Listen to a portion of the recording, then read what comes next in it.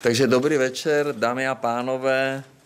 V první řadě bych chtěl poděkovat všem, kteří nás podpořili, kteří nás volili. Nesmírně si toho vážíme, protože ten výsledek považujeme za famózní úspěch. Famózní úspěch. E, taky gratuluju všem, kteří budou reprezentovat Českou republiku v Evropském parlamentu. No a samozřejmě chci nejen poděkovat našim voličům, ale poděkovat našemu týmu.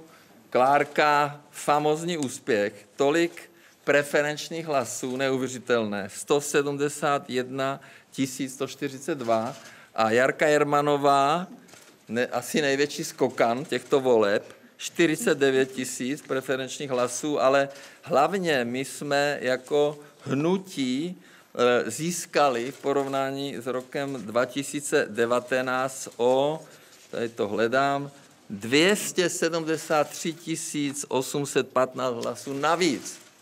Takže musím říct, že jsem to nečekal. Měl jsem z toho obavu, když jsem viděl účast v Praze, kde samozřejmě tradičně eh, ty parlamentní volby, mobilizací voličů spolu jsme, jsme prohráli tentokrát jsme vyhráli a přeplnili jsme ten náš eh, plán.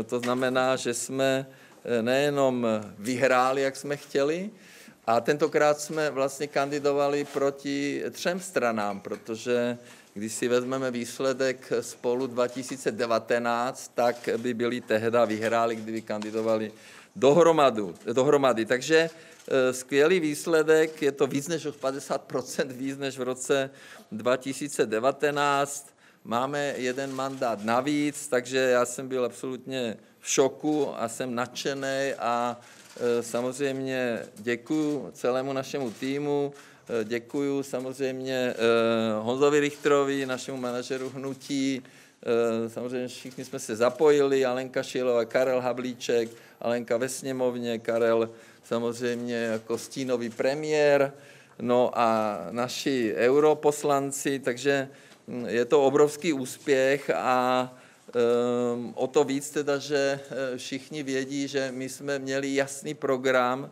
jasný program uh, pro občany České republiky. Jasný program, že skutečně v Evropském parlamentu budeme bojovat hlavně za to, za ty konkrétní věci, aby se stanovení ceny elektřiny odpojilo od eh, cen elektřiny vyrobených z plynu, aby jsme zabránili zákazu eh, spalovacích motorů u aut, aby jsme eh, zabránili tím emisním povolenkám, které lidi musí platit na nemovitosti, pohonné hmoty a tak dále. Takže všichni vědí, že my máme program, my ten program budeme plnit a u koalice spolu všichni věděli, že jejich program vlastně byl jediný a to porazit nás. Takže oni vlastně eh, ten program nesplnili a, a nevím, co tam budou teda dělat v tom Evropském parlamentu, když měli jediný program, který nesplnili.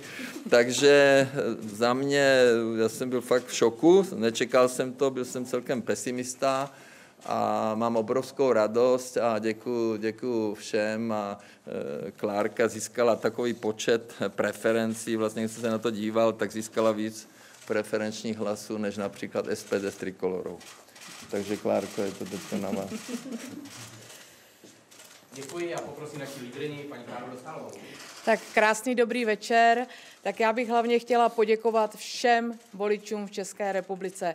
Já jsem opravdu ráda, že jste se zvedli, přišli jste k volbám a že jste pochopili, jak ta evropská politika je pro Českou republiku a pro nás, pro Čechy, nesmírně důležitá. Že ten pomyslný Brusel není tak daleko, že je blíž, než si všichni myslíme.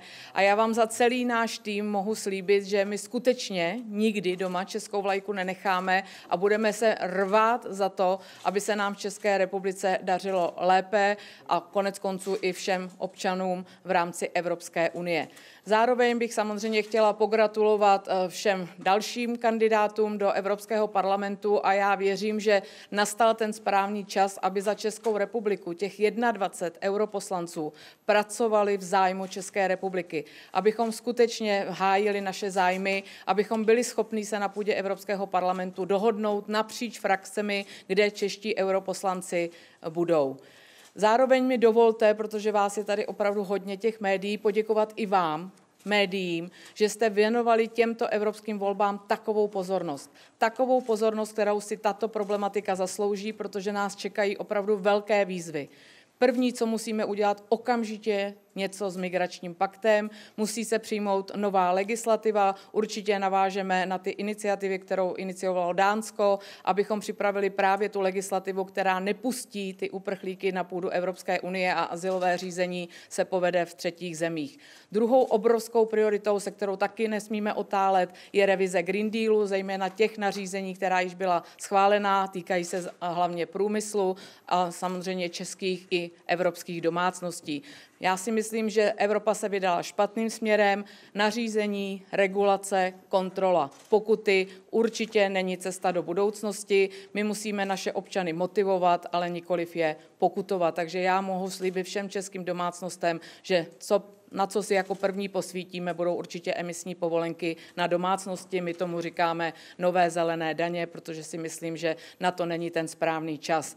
Green Deal se musí vrátit do reálu, musíme si všichni uvědomit, že jsme po covidové krizi, energetické krizi, válka na Ukrajině, musíme zpomalit, musíme samozřejmě Green Deal eh, udělat reálným, reálnou dohodou, reálným dílem, tak, aby se nám všem, nejenom v České republice, ale v, České, v celé Evropské unii žilo lépe. Takže určitě zákaz spalovacích motorů, už o tom tady hovořil pan předseda, to budou naše hlavní priority a pak se budeme zabývat i novým víceletým finančním rámcem, protože Česká republika i nadále bude čistým příjemcem, to znamená, bude se nás týkat i další programací období 2028 až 2033 a určitě je potřeba pro Českou republiku připravit takové podmínky, aby eh, příjemci dotací eh, se trošičku zbavili té obří byrokracie jako takové. Byrokracie obecně je obrovský problém Evropské unie. Evropská unie je přeregulovaná a je potřeba potřeba si právě na tyto předpisy eh, posvítit, tak, aby nám naši podnikatelé neodcházeli z Evropské unie, aby si ve finále